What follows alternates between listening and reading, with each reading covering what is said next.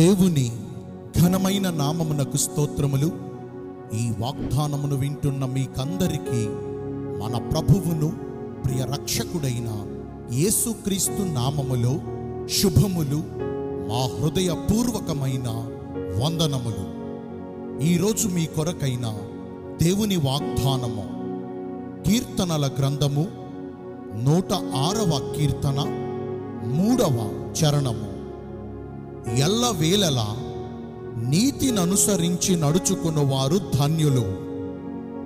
ఈ వాగ్దానమును మంచి దేవుడైన యేసయ్య ఈ శుభవేళలో మనందరి జీవితములలో నెరవేర్చునుగాక. ఆమెన్. ఇస్రాయేలు యొక్క పరిశుద్ధ దేవుడును సర్వాధికారము కలిగిన లోక రక్షకుడును సైన్యములకు అధిపతియగు యహోవా దేవుడు నీతిమంతుడు. ఆయన యందు పాపం ఎంత మాత్రమునూ లేదు. ఆయన పిల్లలుగా మనము కూడా దేవుని దృష్టికి నీతిమంతులుగా ప్రవర్తించాలని నీతి క్రియలను జరిగించాలని దుర్నీతితో సాంగత్యము చేయకూడదని మన ప్రభువు మనలను కోరుచున్నారు.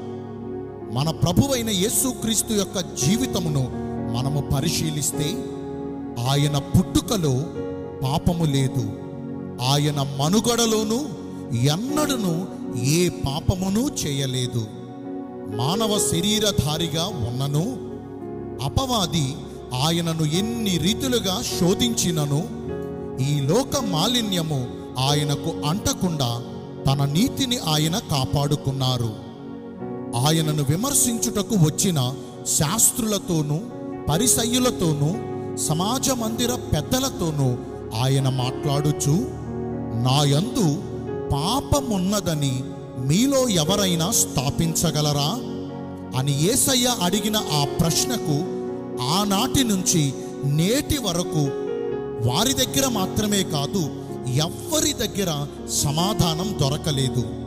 ఎందుకంటే మన ఏసయ్య పరిశుద్ధుడు మన ఏసయ్య నీతిమంతుడు. నేడు మనందరికీ ఆయనే నిజమైన మాదిరి. ఆయన కోరినట్లుగా మనము నీతిని కలిగి ప్రవర్తిస్తే ఆయన మనకు ధన్యకరమైన జీవితమును దయచేస్తారు.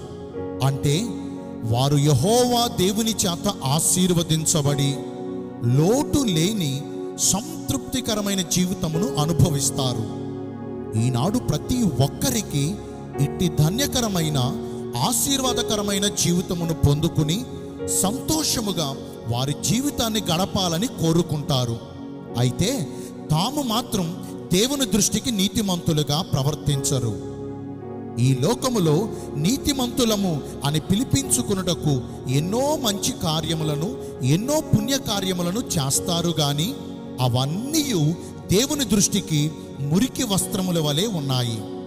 మరికొందరైతే పరిసయ్యుని వంటి భక్తిని చేస్తూ తమ దృష్టికి తామే నీతిమంతులమనుకుని ఇతరులను తృణీకరించి తమను తామే హెచ్చించుకుంటూ ఉంటారు. వీరి నీతి కూడా వ్యర్థమని మన ప్రభు అయిన యేసయ్య ఎన్నో రీతులుగా ఉపమానముల ద్వారా మనకు తెలియజేస్తున్నారు. మనము ఎల్లవేళలా దేవుని దృష్టికి నీతి న్యాయములను అనుసరించి నడుచుకున్నప్పుడే ఇట్టి ధన్యకరమైన జీవితమును పొందుకుని బ్రతుకునంత కాలము సంతోషముగా జీవించగలము. దేవుని దృష్టికి నీతిని అనుసరించి నడుచుకున్న వారికి కలుగు ధన్యతలు ఏంటంటే నీతిమంతులు ఆశించున్నది వారికి దొరుకుతుంది. ప్రభు తన గుప్పిలిని విప్పి వారు కోరినవన్నీ వారు అడుగు వాటన్నిటికంటేను వారు ఊహించు వాటన్నిటికంటేను అత్యధికముగా వారి పట్ల కార్యములను జరిగిస్తారు. రెండవదిగా నీతిమంతుని తల మీదకు ఆశీర్వాదములు వస్తాయి.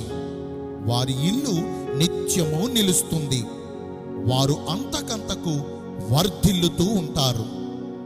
మూడవదిగా నీతి మరణము నుండి రక్షించి మరింత నిశ్చయముగా దేవుని ద్వారా ఉగ్రత నుండి కాపాడబడి నీతి రాజ్యమునకు వారసులమవుతాము. నాలుగవదిగా నీతిమంతునికి ఎన్ని ఆపదలు ఎలాంటి ప్రతికూల పరిస్థితులు ఎదురైనను దేవుడు వారి పక్షమందుండి వారిని కాపాడి వాటన్నిటిలో నుంచి వారిని విడిపించి కృపాక్షేమములతో వారిని నడిపిస్తారు. దేవుని దృష్టికి నీతిమంతులుగా ప్రవర్తించు వారికి ఇంకా ఎన్నో ధన్యతలు దాచబడ్డాయి. మరి ఎవరు దేవుని దృష్టికి నీతిమంతులుగా ఎంచబడతారు? మొదటిగా ధర్మశాస్త్రమును కేవలము వినువారు మాత్రమే దేవుని దృష్టికి నీతిమంతులు కారు గాని ధర్మశాస్త్రమును అనుసరించి ప్రవర్తించువారే ఆయన దృష్టికి నీతిమంతులుగా ఎంచబడతారు. అంటే వాక్యానుసారమైన జీవితమును మనము కలిగి ఉండాలి దేవుని మాటకు విధేయత చూపుచు అన్ని విషయాలలో ఆయనకు లోబడుచు సమస్త విషయములలో ఆయనకు అనుకూలమైన భక్తిని చేయాలి. రెండవదిగా మన పాప దోష అతిక్రమ క్రియలన్నిటినీ ఆయన యొద్ద ఒప్పుకుని విడిచిపెట్టాలి. మన పాపములను మనము ఒప్పుకుని విడిచిపెట్టిన ఎడల ఆయన నమ్మదగిన వాడును నీతిమంతుడును కనుక ఆయన మన పాపములను క్షమించి సమస్త దుర్నీతి నుండి మనలను పవిత్రులనుగాను నీతిమంతులనుగాను చేస్తారు. యేసు రక్తము ప్రతి పాపముల నుండి మనలను పవిత్రులనుగా చేస్తుంది. ఇలాగున దేవుని దృష్టికి నీతిమంతులుగా ప్రవర్తించి దేవుడు మనకు అనుగ్రహించే ధన్యకరమైన జీవితమును పొందుకుందాము. నేను మీ అందరి కోసం ప్రార్థన చేస్తాను. పరిశుద్ధుడును ప్రేమ కలిగిన మా ప్రియ పరలోకపు తండ్రివైన దేవా మీ కృప కలిగిన మీ దయ కలిగిన బంగారు ఘన నామమును బట్టి నిండు మనసుతో మీకు కోట్ల కొలదిగా మా కృతజ్ఞత స్థుతులు స్తోత్రములు వందనాలు చెల్లిస్తున్నామయ్యా. ఈరోజు వాగ్దానము ద్వారా మేము నీ దృష్టికి ఎల్లప్పుడూ నీతిమంతులుగా ప్రవర్తిస్తే మీరు మాకు గొప్ప ధన్యకరమైన జీవితమును దయచేస్తానని తెలియజేశారు. వాక్యానుసారముగా నడుచుకుని ఈ వాగ్దాన ఫలములను పొందుకునే కృప మా అందరికీ దయచేయండి. ఈరోజు ఎందరైతే పుట్టినరోజులను వివాహ దినములను ఇతరమైన శుభకార్యములను జరిగించుకుంటున్నారో. వారందరికీ మెండైన దీవెనలు కుమ్మరించమని మీ రాకడ కొరకు మమ్మను సిద్ధపరచమని యేసుక్రీస్తు ప్రశస్త నామమున ప్రార్థించి వేడుకొనుచున్నాను. మా ప్రియ పరలోకపు తండ్రి amen. May God bless you all thank you